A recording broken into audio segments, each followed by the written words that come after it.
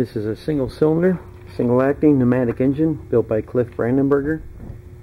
Everything like most of his engines here is homemade. Even the uh, cylinder is cast aluminum.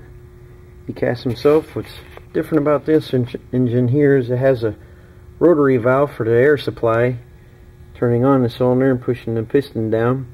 But on the exhaust stroke, this line is cut off, but instead of coming back to the rotary valve to be exhaust out the flywheel like his other engines, it has a, a second eccentric on this side running up on a conventional valve up on the top here.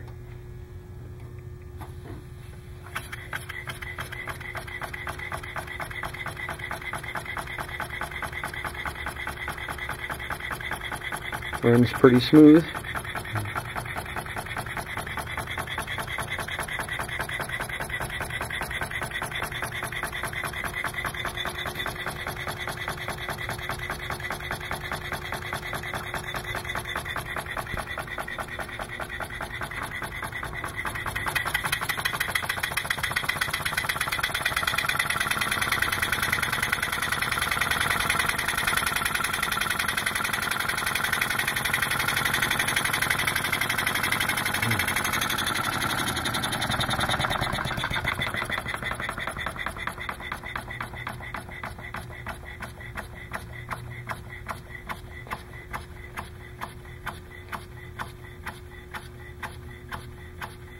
So, it's uh, that's his engine there.